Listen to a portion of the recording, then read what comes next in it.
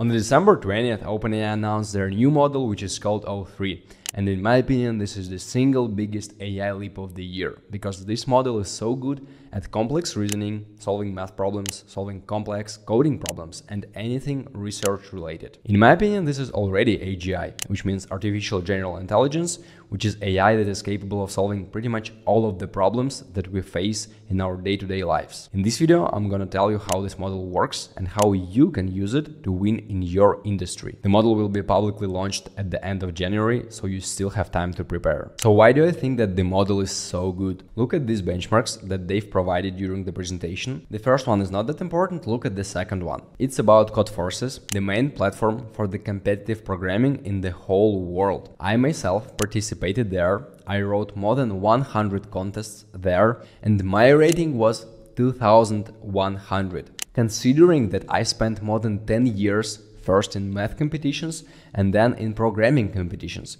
really trying to put as much effort as I can to become great at it. And this model scored 2700. It is so much bigger than what I was capable to do. It is called international grandmaster level, so only 150 people in the world are better than that. It is absolutely crazy, and to explain it to you even in more simple terms, look at that. O3 beats Google software engineers at coding by an order of magnitude. Why is that? To get into Google, software engineers had to go through the big, complex path of the interviewing process. And the hardest part there is algorithmic interviews. It is where you have to show that you are really capable of solving complex, creative problems that you can show your intelligence. It's not about that you know some frameworks, that you know programming languages, it's a different thing. And getting back to this rating on Codeforces, if you have a rating of 2000,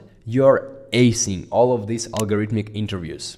So it is absolutely enough to get hired into Google. And this model gets 2700. This is absolutely insane and mind-blowing for me. And now let's get to the main gist of the presentation. My name is Oleg, I'm an AI software engineer with experience in three big tech firms. I've applied AI across different sectors. And in this presentation, I'm gonna show you three things. First of all, how O3 works, then seven real-world use cases. This will be immensely valuable for you.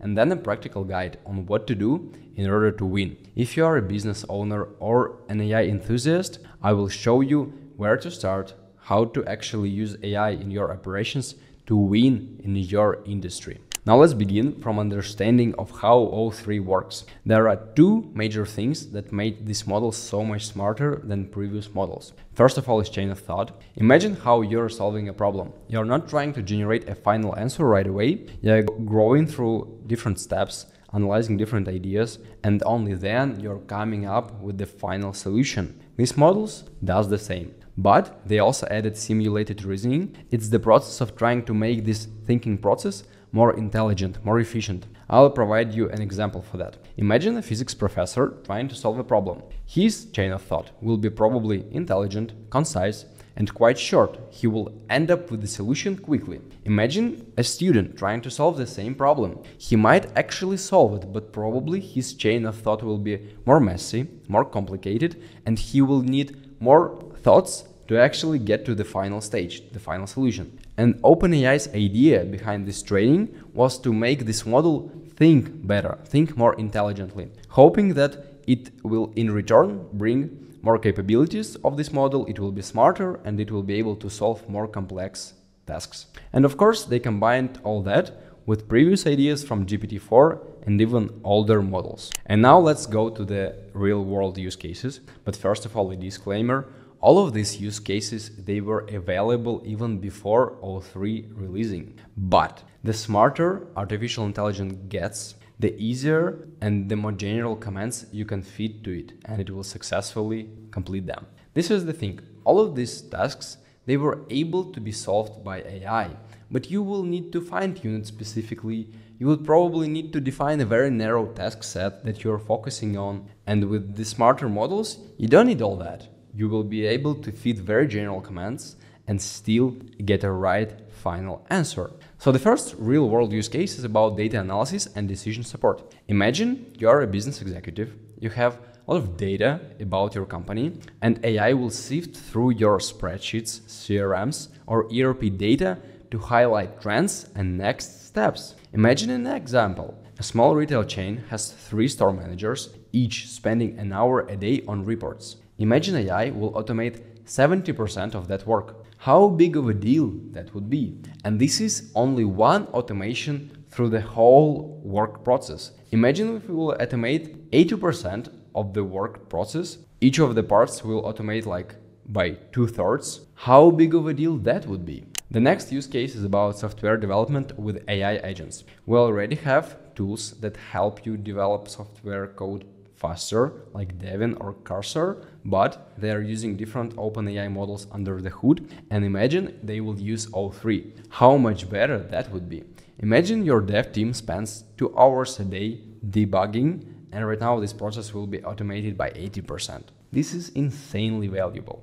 The next use case is about next level customer support chatbot. Imagine the AI that is able to tackle cross-referencing cases. You have a huge FAQ and now you have a request to a customer support which is complex that needs this part of FAQ, this part and this and then you have to think through all them to come up with the right answer. AI will be able to do that. Imagine an e-commerce store that has 200 support tickets weekly and 50 of them are often very complex. AI will be able to solve that. The next use case is about screening AI. Imagine you're a recruiter in a company and you're spending six hours per week to go through 100 resumes to find those candidates who are actually a good fit from the job requirements standpoint that has a great cultural fit with your company. Now AI will be able to do that because it will be able to reason to analyze these kind of deep concepts, what is the right cultural fit to your company and match it with the right candidates,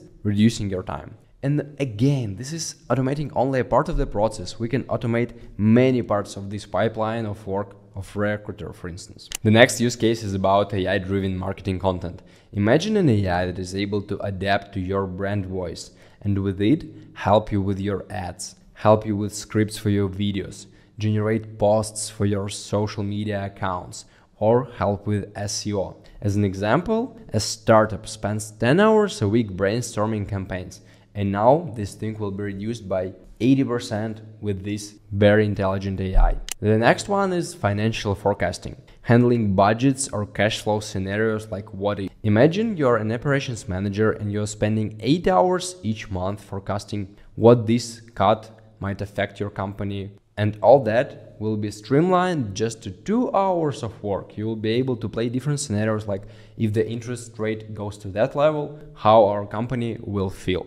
The next example is about research and development, prototyping new products or deep diving into scientific papers. Imagine a product team reading 10 patent docs a week and now it will be able to spend only 5 hours to summarize all that with this high-grade AI, work with only the final result with the gist, the condensed version of these patents, and then analyze what to do next. This is so much more efficient. And now, since we've covered real world use cases, let's go for the practical guide where I'll show you what to do in order to win. This is particularly helpful if you're a business owner or a business executive and you want to use AI in your operations, but you don't know how, or maybe you're facing a lot of obstacles and fears along the way. So let's go. First of all, start with why and what. Before doing anything with AI, ask yourself, what job or process am I trying to improve? AI works best when it solves a clear problem. Look for tasks that are boring, repetitive, or take a lot of time, like data entry, scheduling, or answering basic customer questions.